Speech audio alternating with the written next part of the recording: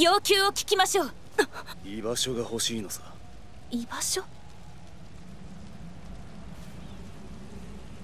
あなたたちの居場所なら私が用意します。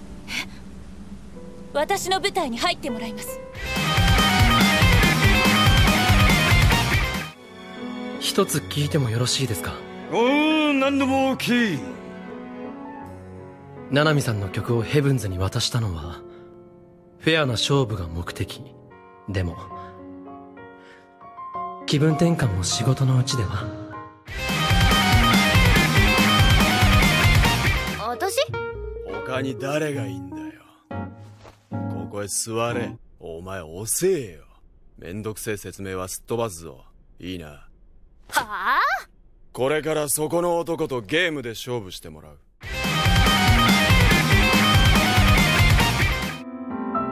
おとといさ結局会わなかったやん。ごめんね。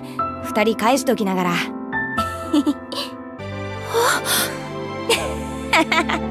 よーしこれからケーキ食べ放題だ。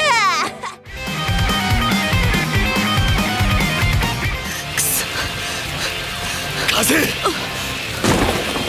のままじゃ脱落組だぞ。始末だって死んでもごめんだ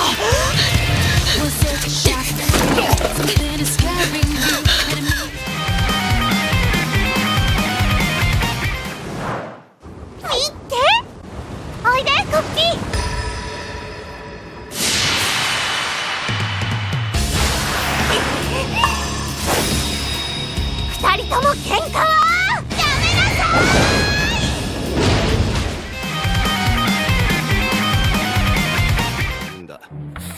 ということでお茶と明太おにぎり買ってくああったく。面倒くせえもんに疲れやがって。そこどいて。俺の力じゃ隔離用の扉を開けるのは1日2回が限度だ。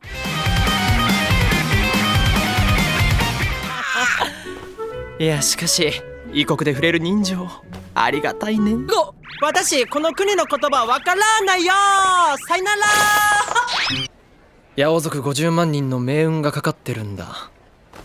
なりふり構ってられんよ。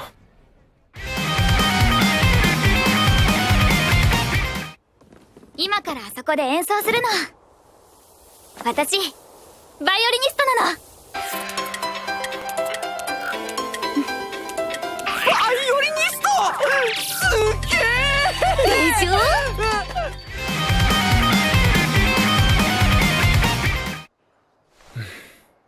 あと武藤先生の新刊10版かかるかもって連絡が来た。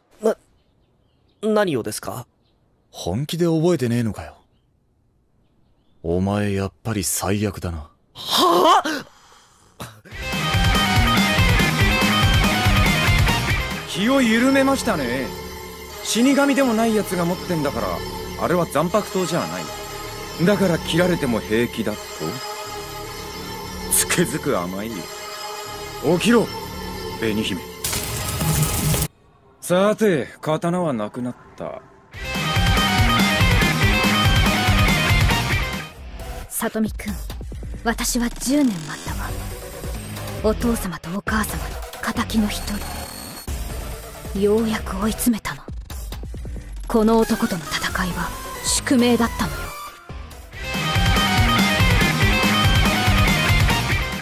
に罪をなすりつけたことまだ怒ってるのかな？しずちゃんの暴力ってさ理屈も言葉も通じないんだから苦手だよ。困ったな。見逃してよ。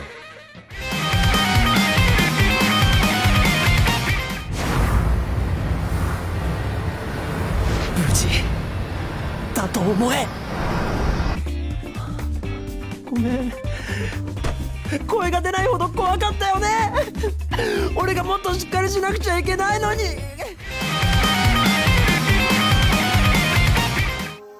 なんだか隼人君は昔の自分に似てる気がするんだ。楽しかったよ。うん。隼人が頑張ったからだよ。いえ神と人との中立であるはずの存在死神あら嫌だセバスチャンこれでも執事出す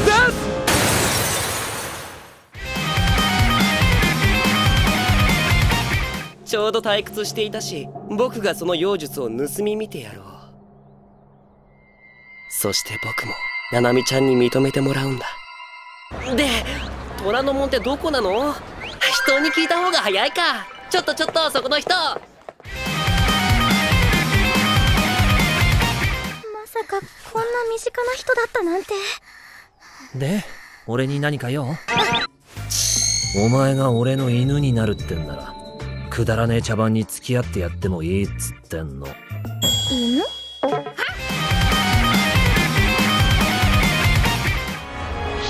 教えておいてあげましょう。私はね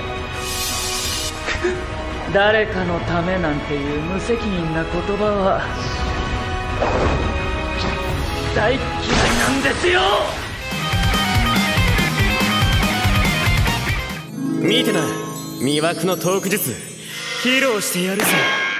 あ悪い俺友田の気持ちになってなかったぜ後で後悔しても遅いぜ。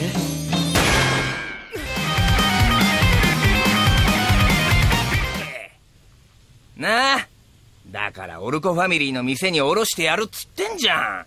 今の3倍の値で売れるぜ。マフィアは嫌いなんだ。でも拳銃じゃ勝負になんねえぜ。見てないで。あいつらの周りに酒を投げて